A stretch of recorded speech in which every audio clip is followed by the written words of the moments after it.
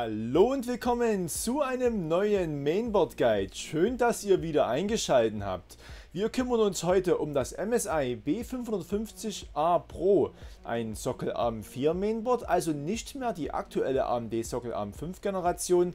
Trotzdem könnt ihr mit dem AMD Sockelarm 4 nach wie vor sehr gute und vor allem günstige Gaming-PCs bauen, vor allem wenn ihr keine vierstelligen Eurobeträge bezahlen wollt. Das komplette System zu diesem Mainboard konntet ihr in den letzten Wochen auf meinem Kanal bereits schon anschauen. Das Aufstellungsvideo ist vor vier Wochen mittlerweile auf dem Kanal gelaufen. Das kommt jetzt direkt mal mit oben in der Infobox. Da zeige ich euch die komplette Aufstellung für das ganze Gaming-System. Vor drei Wochen kam dann der Timelapse-Bild und vorige Woche hatten wir uns Spiele-Benchmarks angeschaut für das System. Einmal in Full HD, in WQHD und sogar in 4K. Obwohl 4K dann eher doch schon so ein kleiner Bonus war. Die Grafikkarte zum System ist dafür eigentlich nicht ausgelegt. Das verrate ich euch jetzt nicht, welches Modell. Da müsst ihr unbedingt mal oben aus der Infobox euch das Aufstellungsvideo und Timelapse-Bild-Video anschauen. Natürlich auch das Spiele-Benchmarks-Video auf jeden Fall auch.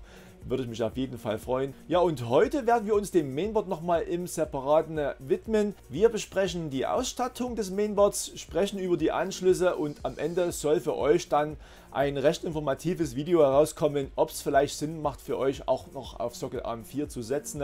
Und wer schon länger dabei ist, der weiß wie das abläuft. Wir schauen uns zuallererst mal den Inhalt des Mainboard-Kartons an.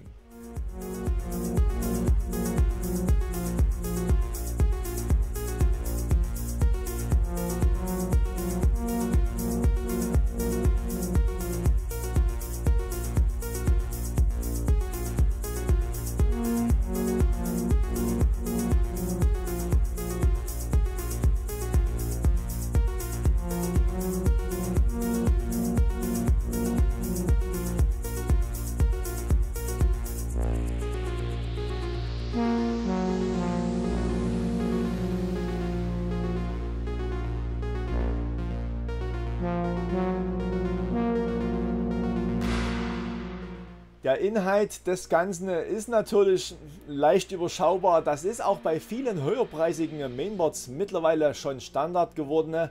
Ist eine bisschen traurige Entwicklung, vor allem wenn man bedenkt, dass aktuelle Mainboards nochmal 40, 50, 60 Euro mehr kosten, obwohl sie gleichwertig ausgestattet sind. Wir haben hier das Mainboard ist glaube ich ganz klar. Dann haben wir hier einmal zwei Serial ATA Kabel. Das ist selbst bei aktuellen High-End Platinen nicht mal mehr im Lieferumfang vorhanden. In vielen Fällen sind es nur noch ein Serial ATA Kabel.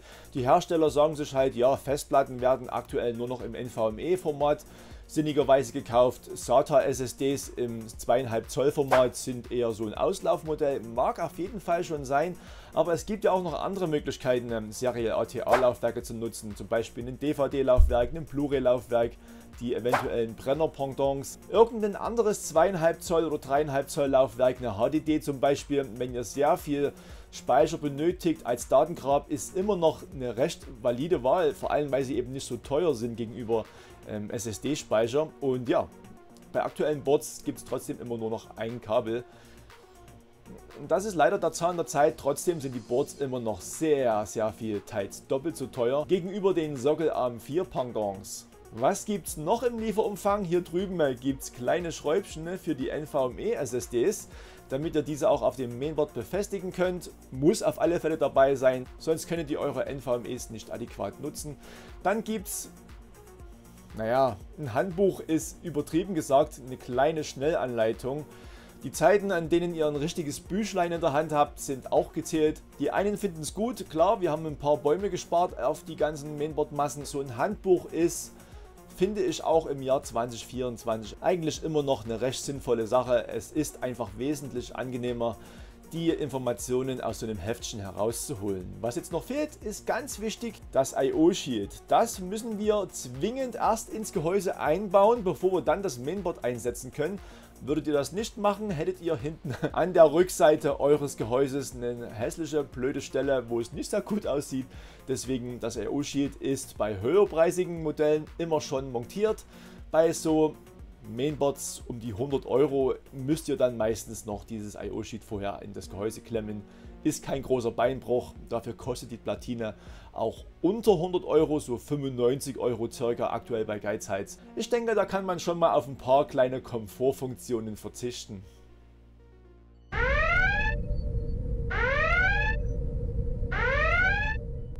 MSI bietet euch einen sehr günstigen Einstieg in AMDs Sockel Arm 4 Welt. Die Plattform ist natürlich nicht mehr aktuell. Es gibt Sockel Arm 5 Platinen schon seit einigen Monaten auf den Markt. Aber mit dieser Plattform, dem B550 Chipsatz, habt ihr einen perfekten Einstieg für einen günstigen Gaming-Rechner, der keine vierstelligen Euro-Beträge kosten soll. Und das B550A Pro ist hier eine sehr gute Wahl. MSI bietet euch sämtliche Anschlüsse, die ihr für einen modernen Gaming-PC braucht. Ihr habt PC Express 4.0 Unterstützung auf dem ersten Grafikkartenslot, genauso auch auf den M2-Slots. Genauso gibt es noch Serial ATA-Steckplätze für HDDs und SSDs und jede Menge weitere Anschlussmöglichkeiten. Aber keine Bange, die besprechen wir jetzt natürlich gleich noch alle ausführlich im Video. Starten wollen wir wie immer mit den Spannungswandlerkühlern und hier hat MSI auf jeden Fall sich nicht lumpen lassen. Die reichen auf jeden Fall aus, um den allseits beliebten Ryzen 7 5800X 3D auf dem Mainboard betreiben zu können, aber auch so einen 16-Kerner wie ein 5950X würde hier auf jeden Fall mit diesem Board nutzbar sein.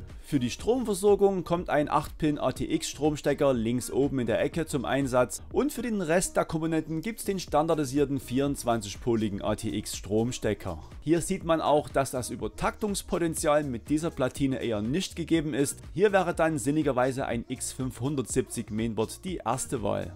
Für die Unterstützung des Arbeitsspeichers habt ihr insgesamt 4 Slots zur Verfügung. Dabei gibt es noch eine kleine Besonderheit, ihr könnt den zweiten und den vierten Slot im sogenannten Dual Channel stecken, also zwei Module auf dem A2 und B2 wären dann der Dual Channel und ihr habt dann um ein paar Prozentpunkte verbesserte FPS in euren Games. Diese beiden Slots sollten auf jeden Fall zuerst bedient werden. Wollt ihr irgendwann mal nachrüsten mit mehr Arbeitsspeicher, dann könnt ihr das natürlich tun, allerdings verliert ihr dann diesen Dual Channel Bonus es ist theoretisch vernachlässigbar, klar, ihr habt ein paar FPS mehr, aber wenn ihr später mal nachrüsten wollt, dann könnt ihr das auf jeden Fall mit den zwei weiteren RAM-Slots machen. Das Board bietet euch durch den Sockelarm 4 hier auch leider nur DDR4 RAM-Bänke. Diese laufen dann aber bis zu 4400 Megatransfers im OZ.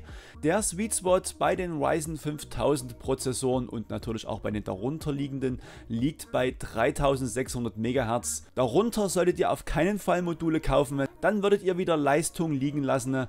Die Empfehlung liegt hier ganz klar bei 3600 Megatransfers. Wenn ihr darüber geht, könnt ihr das natürlich tun. Es ist vom Leistungsunterschied allerdings wieder zu vernachlässigen. Hier gibt es nur noch Prozentwerte im niedrigen einstelligen Bereich, die ihr dann noch eventuell oben drauf bekommt, je nach Game. Der Preis dafür steigt umso mehr, deswegen sind 3600 MHz preis-leistungstechnisch die absolut beste Wahl. Weiter geht's mit den PC Express Slots für Erweiterungskarten. Wir haben den oberen X16 PC Express 4.0 Slots. Der sollte zwingend immer für eure Grafikkarte genutzt werden, denn dieser läuft mit der vollen X16 Bandbreite. Dieser wird also mit 16 Lanes vom Prozessor direkt angesprochen und kann somit die optimale Geschwindigkeit umsetzen. Der zweite lange X16 Slot wäre natürlich vermeintlich auch für eine Grafikkarte geeignet. Ihr könntet diese auch physisch in diesen Slot einstecken. Das Problem an der Sache ist nicht nur, dass es hier leider nur PC Express 3.0 Geschwindigkeit gibt. Dieser Slot wird zusätzlich auch nur mit X4, also mit 4 Lanes vom Chipsatz angesprochen. Ihr verliert also 8 Lanes und das ist dann schon massiv für eure Grafikkarte. Deswegen immer den oberen Slot für euren Pixel-Schubser nutzen. Eine Besonderheit zu dem zweiten langen X16 Slot gibt es leider auch noch. Wenn ihr den zweiten M2 NVMe Steckplatz verwendet, dann wird der lange PC Express 3.0 X16 Slot deaktiviert. Denn der Chipsatz kann nicht genügend Leiterbahnen, also Lanes, zur Verfügung stellen, um alle Slots ansprechen zu können. Das ist leider eine kleine Limitierung des B550 Chipsatzes. Mit diesem Problem sind alle Hersteller konfrontiert, hier ist MSI nicht allein. Die zwei kleinen PC Express 3.0 X1 Slots runden das Erweiterungssteckkartenangebot ab. Hier habt ihr also die Möglichkeit USB Erweiterungskarten, Capture Karten oder eine Soundkarte anzuschließen und bei diesen Slots braucht ihr keine Angst haben, die werden nicht geteilt mit anderen Steckplätzen. Jetzt habe ich euch schon ganz kurz was von M2 NVMe Steckplätzen erzählt, machen wir mit dem auch gleich weiter. Wir haben insgesamt zwei Slots auf der Platine zur Verfügung. Der obere, der mit einem Kühlkörper hier noch versehen ist, bietet euch eine PC Express 4.0 Schnittstelle für moderne NVMe M2 SSDs. Und dieser wird mit vollen 4 Lanes, also X4 Geschwindigkeit vom Prozessor angesprochen. Der zweite M2-2 Slot, den ihr für eine NVMe SSD verwenden könnt, bietet euch maximal PC Express 3.0 Geschwindigkeit. Das liegt daran, dieser wird direkt vom B550 Chipsatz angesprochen. Ihr bekommt zwar volle 4 Lanes vom Chipsatz, hier kommt aber leider wieder die Limitierung des B550 Chipsatzes zu tragen. Ich hatte es euch gerade schon erklärt, sobald ihr den zweiten M2 Steckplatz verwendet, verliert ihr den Support für den langen X16 Slot für Erweiterungskarten. Mit den zweiten M2 Steckplätzen war es das aber noch nicht. Vier Möglichkeiten Festplatten in eurem System unterzubringen.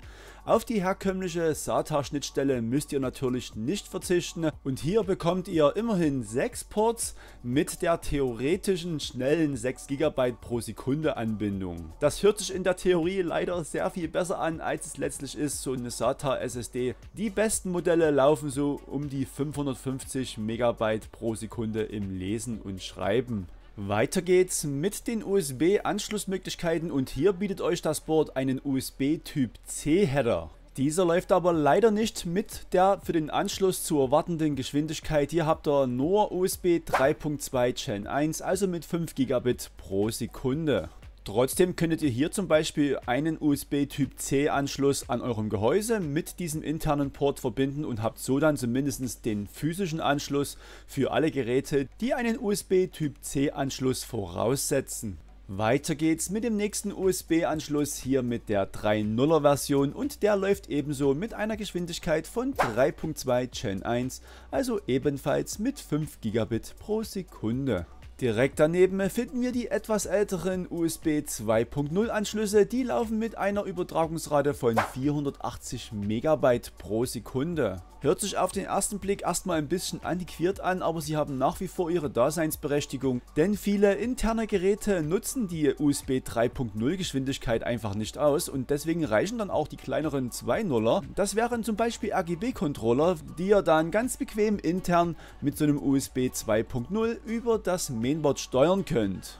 Die wichtigen Anschlüsse für Erweiterungskarten, Festplatten und sonstige Hardware haben wir jetzt durchgesprochen. Jetzt kommen wir zu den Lüfteranschlüssen. Und hier bietet euch MSI eine unfassbar große Anzahl von 8 4-Pin PWM Konnektoren und das ist für diese Preisklasse schon wirklich richtig stark. Der erste rechts oben oberhalb des ersten RAM-Slots ist für einen CPU-Kühler vorgesehen. Also alle Lüfter, die an eurer Tower-Kühllösung angebracht sind, könntet ihr dann mit diesem ersten CPU-Fan-Anschluss bedienen. Der zweite wäre dann für eine eventuell vorhandene AIO-Wasserpumpe vorgesehen. Hier könntet ihr natürlich dann auch für eure eventuell vorhandene Custom-Wasserkühlungspumpe diesen Anschluss nutzen. Und dann geht es der Reihe nach um das Mainboard herum. System Fan 1, System Fan 2, 3, 4, 5 und 6. Alle 6 Ports sind für 4-Pin PWM-Lüfter vorgesehen. Somit könntet ihr dann auf eine Reihenschaltung eurer Lüfter komplett verzichten und könntet somit jeden einzelnen Lüfter einzeln mit dem Mainboard steuern. Mehr als 6 Lüfter sind dann schon fast wieder Luxus in einem System 3 in der Front zwei oder theoretisch drei oben im Deckel und einer in der Rückwand. Da kommt ihr insgesamt auf sechs Gehäuselüfter. Habt ihr natürlich noch mehr, dann wäre es natürlich wieder sinnvoll, ein oder zwei Lüfter in Reihe zu schalten. Aber ich denke, für den Standard Gaming Rechner sind sechs Lüfter auf jeden Fall schon richtig stark und die wären mit diesem Mainboard ohne Probleme zu steuern. Andersherum könnte man es dann auch so sagen, ihr habt jede Menge Möglichkeiten eure Lüfter über das Kabelmanagement ideal mit dem Mainboard zu verbinden. Falls die Kabel vielleicht ein bisschen kurz sind und an der einen Stelle nicht mehr ganz reichen, dann habt ihr eben noch eine andere Stelle am Mainboard, wo ihr rangehen könnt. Zum Beispiel System Fan 5 und System Fan 4, die unten an der Platine angebracht sind oder der System Fan 6 der direkt unter dem Spannungswandlerkühler sitzt. Also hier habt ihr echt alle Möglichkeiten, um eure Lüfter mit dem Mainboard zu verbinden. Was natürlich ebenfalls nicht fehlen darf, sind die Anschlüsse für euer Frontpanel JFP1 und JFP2. Unter JFP1 finden wir links oben den Anschluss für die Power LED, links unten für die HD LED, rechts oben für euren Power Anschluss und rechts unten für den Reset Knopf. Manche Gehäuse bieten euch leider nicht mehr für alle Ports den passenden Stecker. Sollte das bei euch der Fall sein, dann lasst ihr diesen natürlich einfach frei. Und der JFP2 dient für einen Mainboard Speaker, also euer Mainboard kann, falls es irgendwelche Probleme hat, über diesen Speaker einen Ton ausgeben oder zwei oder drei oder eine Reihenfolge, eine Kombination aus verschiedenen Tönen und nach diesen könntet ihr dann analysieren, welcher Fehler vorliegt. Leider gibt es diese Speaker nicht mehr zum Mainboard-Umfang dazu. Ansonsten gab es die eigentlich meistens noch zu Gehäusen mit dazu im Lieferumfang. Auch das ist mittlerweile sehr selten geworden. Falls ihr gerne Pieptöne mit eurem Mainboard ausgeben möchtet, dann müsstet ihr leider diesen im Handel euch separat noch erwerben und dann an diesen JFP1 Kontakt anschließen. Und ebenfalls für das Frontpanel ist der J-Out 1 Anschluss. Der ist für eventuell vorhandene Headset- und Mikrofon-Klinkestecker vorgesehen. Dieser befindet sich nahezu bei allen Platinen immer links unten in der Ecke. Direkt darüber findet ihr dann auch gleich noch den dazugehörigen Soundchip. Auch dieser ist natürlich unablässig für die Funktion vom Sound auf einer Platine. Hier kommt leider auch wieder nur der quäkische ALC 897 Chip zum Einsatz. Ja, und das ist durchaus sehr traurig, obwohl man sagen muss, bei einer B550 Platine, die so 95 Euro circa kostet, ist das durchaus vielleicht noch zu verkraften. Allerdings wird dieser Soundchip auch auf den AM5 Platinen verlötet. MSI bietet zum Beispiel beim B650 Gaming Wi-Fi Mainboard 155 bis 160 Euro circa genau den gleichen Chip und auch hier kann man es echt einfach nicht mehr verstehen. Es gibt auch vergleichbaren X570 Platinen, die genau denselben Preis haben oder vielleicht sogar noch ein bisschen günstiger.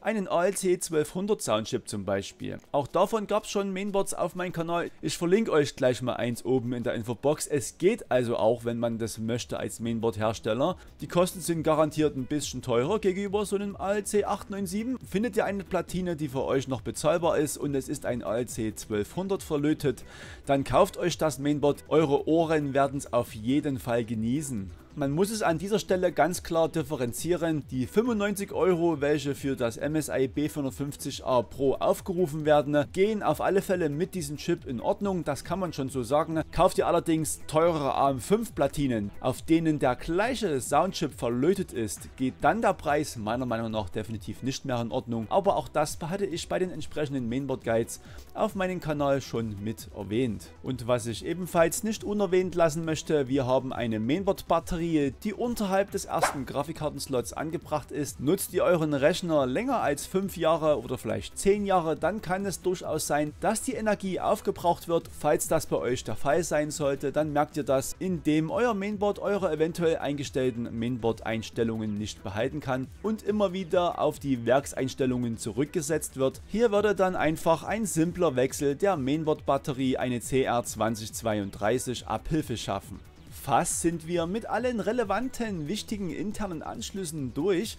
Was jetzt noch fehlt, viele von euch werden sicherlich wissen, für alle RGB-Fetischisten unter euch gibt es natürlich auch Anschlüsse für die leuchtenden Bling-Bling-Geräte. Und hier bietet euch MSI insgesamt drei Anschlussmöglichkeiten.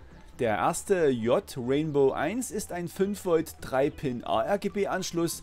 Dieser befindet sich rechts unten in der Ecke der Platine oberhalb der Frontpanel Anschlüsse. Diese könntet ihr dann für aktuelle RGB Komponenten wie Lüfter oder auch RGB-Streifen nutzen. Ganz wichtig aber hier an dieser Stelle, schließt eure 5 Volt ARGB Geräte nicht an einen 12 Volt RGB Anschluss an, kommen wir gleich noch dazu. Hier müsst ihr wirklich zwingend unterscheiden zwischen 12 Volt und 5 Volt, sonst gibt es Beschädigungen an euren Geräten. Der zweite 5 Volt ARGB Anschluss befindet sich rechts oben in der Ecke der Platine oberhalb der RAM-Bänke. J Rainbow 2, der ist physisch und anschlusstechnisch genau dasselbe, funktioniert wie J Rainbow 1. Und der dritte im Bunde ist genau der angesprochene 4-Pin 12 Volt RGB Anschluss. Hier passen wirklich nur die 4-Pin Geräte an diesen Anschluss dran. Physisch könnt ihr natürlich auch die 12 Volt 4-Pin Stecker an einen 3-Pin 5 Volt Stecker anschließen wäre aber wie gesagt nicht so dienlich. Umgedreht könntet ihr allerdings den 5V ARGB 3-Pin Stecker nicht mit diesem 12V 4-Pin Anschluss verbinden. Damit sind wir mit allen internen relevanten Anschlüssen durch. Was jetzt noch fehlt ist das IO Shield und natürlich schauen wir uns das auch noch mit im Detail an. Hier gibt es natürlich ebenfalls nochmal sehr viele interessante Anschlüsse und wir starten wie immer links mit dem ersten Anschluss oder in dem Fall ein Button. Das ist der sogenannte Flash BIOS Button. Mit dem könntet ihr dann euer BIOS ohne ein komplett fertig aufgebautes System auf die aktuellste Version flashen. Hier benötigt ihr dann einen extra vorbereiteten USB-Stick mit dem aktuellen BIOS. Diesen schließt ihr dann an den dafür vorbereiteten USB-Anschluss und könnt dann den Flash-Button betätigen und euer Mainboard muss natürlich mit Strom verbunden sein, das ist ganz klar, aber ansonsten läuft das komplett ohne Prozessor, Grafikkarte und sonstiger Peripherie ab. Rechts daneben geht es dann weiter mit dem altehrwürdigen PS2-Anschluss. Der ist für Mäuse oder Tastaturen vorgesehen. Früher gab es da jeweils einen für eine Maus und eine Tastatur. Mittlerweile gibt es nur noch einen einzelnen oder eigentlich gar keinen mehr. Viele Mainboard-Hersteller sparen diesen mittlerweile und nutzen dafür weitere USB-Anschlüsse. Hier ist er noch mit dabei und falls ihr noch eine ältere Tastatur zum Beispiel habt, könntet ihr diesen Anschluss nutzen. Direkt darunter kommen dann schon die ersten USB 2.0 Ports. Zwei weitere finden wir dann in der Mitte der Platine. Das sind leider vier langsamere Anschlüsse mit 480 MB pro Sekunde. Trotzdem haben sie ihre Daseinsberechtigung, denn hier werden idealerweise eine Maus, eine Tastatur oder ein eventuell vorhandener Drucker angeschlossen, denn diese benötigen keine exorbitant hohe Übertragungsraten bei den USB-Ports. Genau in der Mitte findet ihr zwei Monitorausgänge, einmal einen DisplayPort und einen HDMI-Port. Diese beiden Anschlüsse könnt ihr immer dann nutzen, wenn ihr keine extra dedizierte Grafikkarte für euer System plant. Habt ihr euch für eine APU entschieden, ein Ryzen 5 5600G zum Beispiel oder einen Ryzen 7 5700G, dann könnt ihr genau diese beiden Monitorausgänge nutzen, denn die Prozessoren haben eine integrierte Grafikeinheit, die auch durchaus für das ein oder andere Spielchen geeignet ist. Und dann könnt ihr eben euren Monitor über den DisplayPort oder HDMI-Port für eine Grafikausgabe überreden. Mehr gibt es dazu eigentlich auch nicht zu sagen. Nutzt ihr eine extra dedizierte Grafikkarte, dann müsst ihr natürlich über die Ausgänge von dieser gehen. Direkt neben den USB 2.0 Steckplätzen findet ihr zwei blaue, das sind die USB 3.2 Gen 1 Ports, die genauso wie die internen, welche wir uns vorhin schon angeschaut haben, mit einer Geschwindigkeit von 5 Gigabit pro Sekunde laufen. Direkt darüber findet ihr den Gigabit LAN-Anschluss. Hier ist ein Realtek 811H Gigabit LAN-Controller auf der Platine verlötet. Und jetzt wird es ein bisschen spannender, denn die beiden USB-Ports hier mit der roten Farbe markiert signalisieren natürlich, hier ist definitiv mehr Geschwindigkeit am Start und genauso ist es auch. Der obere USB Typ A Stecker ist ein USB 3.2 Gen 2 Port, der läuft mit einer Übertragungsrate von maximal 10 Gigabit pro Sekunde. Und der untere ist der neuwertigere USB Typ C Stecker und auch der läuft mit der gleichen Geschwindigkeit USB 3.2 Gen 2 mit ebenfalls 10 Gigabit pro Sekunde. Und zum Abschluss kommen wir jetzt zu einer wirklich wieder positiven Überraschung. Der ALC 897 gehört eher zur mittleren bis unteren Kategorie. Trotzdem hat euch MSI hier die Möglichkeit gegeben, ein zum Beispiel 5.1 Soundsystem mit eurem System zu verbinden. Das ist auf jeden Fall positiv, auch wenn der ALC 897 nicht unbedingt dafür gedacht ist, einen super tollen 5.1 Sound auszugeben. Man muss immer bedenken, wie viel diese Platine kostet im Vergleich vor allem zu den aktuellen Sockelarm 5 Pendants und da sieht es dann schon ein bisschen zackenduster aus, wenn ihr denselben Soundchip drauf habt und dann zum Beispiel eben leider nicht die Möglichkeit habt, ein 5.1 System anzuschließen. Und damit sind wir durch mit allen relevanten internen sowie auch externen Anschlüssen auf dem MSI B550A Pro. Falls ein für euch wichtiges Detail unerwähnt geblieben ist, dann kein Problem, schreibt es mir in die Kommentare und dann versuchen wir natürlich das Ganze auch noch zu klären. Na, was haltet ihr jetzt vom MSI B550A Pro? Ist das für euch eine sinnige Platine, die ihr für euren Gaming-PC sucht?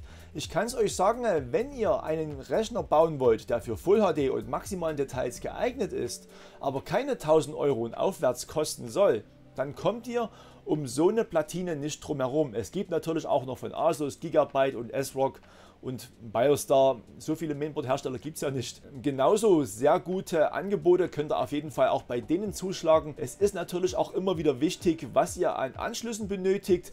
Schaut einfach danach. Es gibt natürlich auch ein paar Unterschiede zwischen den Herstellern. Der eine bietet vielleicht ein paar SATA-Steckplätze mehr, der andere ein paar USB-Steckplätze mehr. Vielleicht hat der eine ein ein paar mehr USB 3.0er auf der Rückblende. Das MSI-Board hat ja mit den vier USB 2.0ern ja schon sehr viel von den alten Steckplätzen. Falls ihr sowas nicht mehr benötigt, dann könnt ihr natürlich auch bei einem anderen Hersteller gucken. Das steht logischerweise außer Frage.